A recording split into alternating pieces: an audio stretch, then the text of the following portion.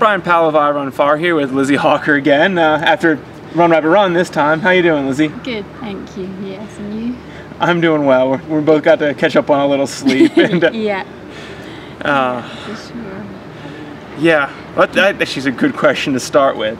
You've run UTMB, you've run this. Have you run any? Well, you did Western States. I was going to ask Yeah. you whether you'd done any uh, hunters that had a, a morning start that you got to go to bed and catch some rest. But uh, how does the night? How do you? You know, you've done a ton of races now that you've run through the night. What's your approach? Um, I guess try and sleep well as you can the week before. This time it was a bit, a bit hard with travelling so close to the race because I know I didn't catch up. So during the race I was more tired than I, I would be. Um, I actually find races starting about midnight the hardest because I can never sleep the night before. So you're you're kind of ready to sleep on the start line. If it starts earlier, at least the adrenaline's kind of got you going. Yeah, yeah. So you had plenty of time to get going before Yeah. uh, the middle of the night this Yeah. time. yeah. Um, you did, however, have a uh, an early hiccup in your run. Mm. When did you fall? About six miles in, it was literally just at the top of Mount Werner. Just after that, on the beautiful trail up there. I don't don't know why. I just stumbled, but I just fell really, really heavily on my knee. So I'm kind of a bit cross because the race then for me, I guess, became about just coping with the pain um, and whether I could carry on running rather than being able to just try to run the best that I could, sort of thing. So it was a bit frustrating in that respect. Yeah, normally during a race, you are, you know, very focused and very, and even in your focus, like, you, your emotion was showing when you came into that mile 28 station with, with Chrissy there, and uh, you could just tell that it wasn't good. it was not good. And honestly, it didn't. I thought you were going to run the mile across town to the next aid station, and yeah, might not leave that one. Yeah. yeah. Um, is it doing any better? I mean, is it, is it a something that's going to affect you long term, or is this? Um, I hope not. A strong- I saw the medical guys last night. And they said it's just, well, the swelling's just on top of the knee rather than in the kneecap. Yeah. So I think it'll blow up a bit the next day or two, and then hopefully come down. I think it was just such a hard bang that it r- has really, really bruised it. So Yeah. Well, hopefully, I'm, I'm sorry that it bothered you, but I'm glad that it's not uh, not something you're going to have to deal with. yeah. Um, fingers crossed. yeah. Um, but have, are you going to have to deal with it uh, on travel back to Europe right away? When do you le- go home? Yeah. Um. Yeah. I go home on Monday. So. Yeah. That's another good question, I think, for you. You've also traveled a lot for racing. What is your, you know, strategy before and after the race? Do you have a sort of a, a normal routine, or Um, well, like I said, I I like to try and kind of have a quiet week the week before a race and try and you know get some early sleep if you're missing a night racing. Yeah. Um, Does so that mean that kind of gets a bit messed up when you're traveling. so do you try to travel early, or do you just try to you travel a lot? You just try to do it at the last minute, more or less. Um, just whatever works out. Often, what flight is the, the best deal. yeah. um, and kind of commitments at home and stuff. Um, so yeah, you just have to deal with, with what you've got and try and do the best. Like everybody else, yeah, right? exactly, exactly. um,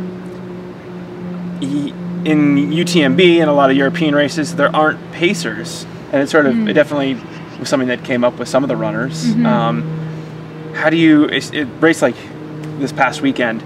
You were alone Mm-hmm. the entire race. There were no women rate. You were racing.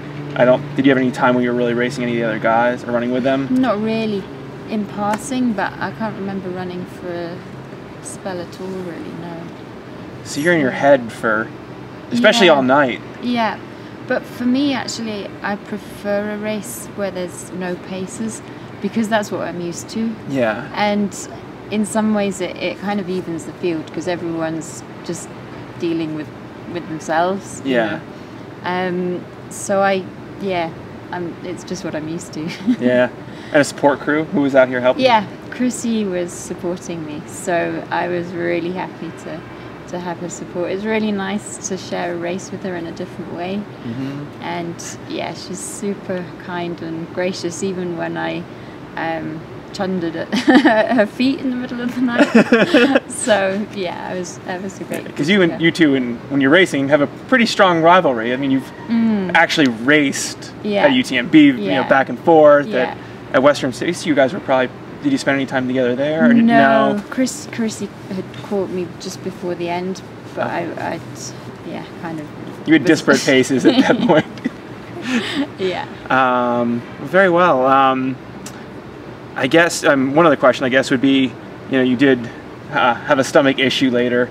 I mean, it's kind of amazing to me that you dealt with pain for 75 miles, and at that point, the pain was just so intense that Yeah, and I, it kind of stopped me eating and drinking enough, and I think that's why I was sick as well. So by, by the time I got back here, I think I was completely running on empty.